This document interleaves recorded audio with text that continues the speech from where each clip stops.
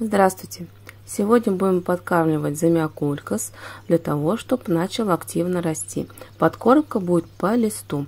Расскажу вам про три самые шикарные подкормки именно для замиокулькаса по листу, которые можно использовать в любое время года. Для того, чтобы его разбудить. Если он у вас в зимнее время спит, его также можно разбудить, он будет активно расти.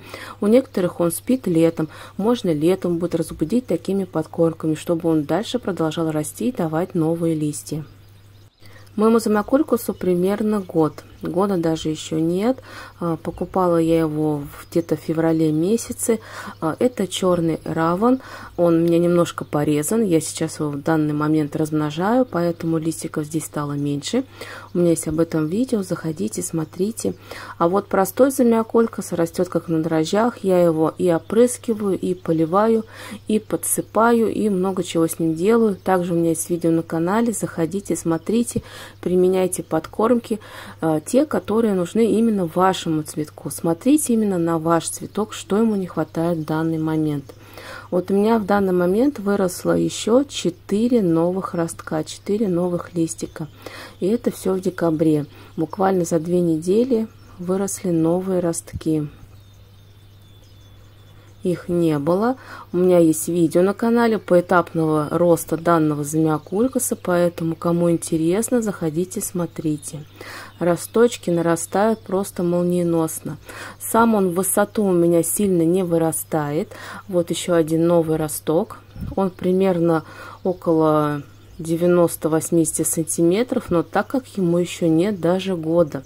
Он такой пушистый стал именно благодаря подкормкам, опрыскиваниям и различным средствам, которые я подсыпаю. А это замякулька Зензи. Он просто необычно выдает новые ростки, новые листья.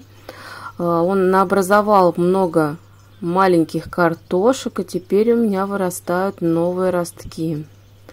А, новые картошки образовались с помощью мощной корневой системы.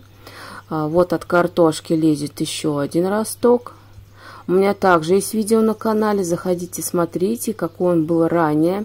А, здесь была всего одна ветка, и за год наросло вот столько маленьких веточек. Две большенькие и уже штук 8 маленьких. Итак, первое комплексное минеральное удобрение именно по листу. Это плантофол. У меня он именно 20-20-20. То есть азота именно и фосфора, и калия здесь будет по 20%. Но в нем также содержатся различные микроэлементы, и из них, кстати, нитратная форма азота всего 4%. В нем очень много различных микроэлементов, что полезно для растения, такие как марганец, железо, медь, бор, калий оксид, фосфор оксид, азот в форме нитрата и общий азот. Самое важное, что в данном препарате отсутствует хлор и другие компоненты, которые негативно воздействуют именно на рост растений и формирование листовой массы. У меня есть видео на канале, как его правильно применять. Применяют его 2 грамма на 1 литр воды и опрыскивают по листу. Ссылочку я вам оставлю, все посмотрите, как я опрыскиваю именно замиокулькас, именно в то время, когда нужна была эта подкормка. Сегодня я буду подкармливать другой подкормкой. Это чай каркаде. Вот такие вот листики, которые будем сегодня с вами заваривать и будем опрыскивать именно замиокулькас. Именно в этих листочках содержится очень большое количество полезных веществ, такие как калий, марганец, магний и кальций. Калий нужен нам для ускорения роста и процесса бутонов, но в данном случае меня интересует именно ускоренный рост замиокулькаса. Марганец, он принимает участие именно в фотосинтезе и отвечает за состояние корневой системы а магний нужен для того, чтобы не было замедленного развития растения и опадания листьев, и не было пожелтения листиков. Как приготовить настой для опрыскивания именно из каркаде? Нам понадобится буквально 500 мл кипятка и несколько листиков для заваривания чая. Я беру буквально 4-5 листьев и кидаю их в кипяток. Наставить будем буквально 20-30 минут под крышкой, когда листики каркаде заварятся. Польза данного чая уже давным-давно доказана. Еще даже китайские коллеги уже давным-давно используют именно чай каркаде для ускоренного роста растений. Но они его даже и подсыпают, и поливают им, и опрыскивают. Но я в основном использую чай каркаде по листу, так как он имеет некую кислинку и может закислять почву. Поэтому я для полива использую другие удобрения. Не все комнатные растения я опрыскиваю данным настоем.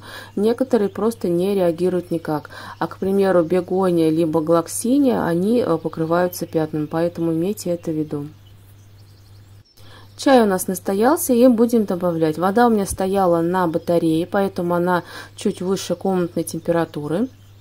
Опрыскивать лучше всего именно теплой водой. Если есть возможность, держите бутылки либо возле батареи, либо прямо на батарее. Тогда они будут примерно около 30-35 градусов в среднем. То есть вода будет теплая, а замякулькас просто обожает именно теплую воду именно в зимний период.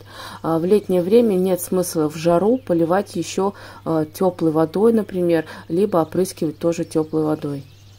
И сейчас будем опрыскивать замякулькас именно по листу. Пришло время подкормки, поэтому а, будем именно с вами сейчас опрыскивать.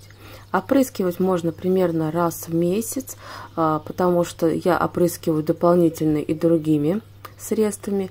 Про другие средства вы знаете, это плантофол, это обязательно я опрыскиваю, он просто шикарен именно для замиокулькаса. И следующее удобрение это янтарная кислота. Янтарная кислота просто классная подкормка для именно чахнущих растений, которые начинают увядать, появляется пожелтение листьев. А также янтарная кислота – это отличный стимулятор роста и для развития самого растения. Данным препаратом можно как опрыскивать, так поливать, так и даже протирать листики. Данный препарат применяется по-разному. Он применяется как для профилактики, как для лечения, как для восстановления, так и даже для ликвидации стресса, например, от переохлаждения, от перелива, от залива растения. Замякулькас очень часто многие заливают, и именно янтарная кислота поможет вам спасти замякулькас.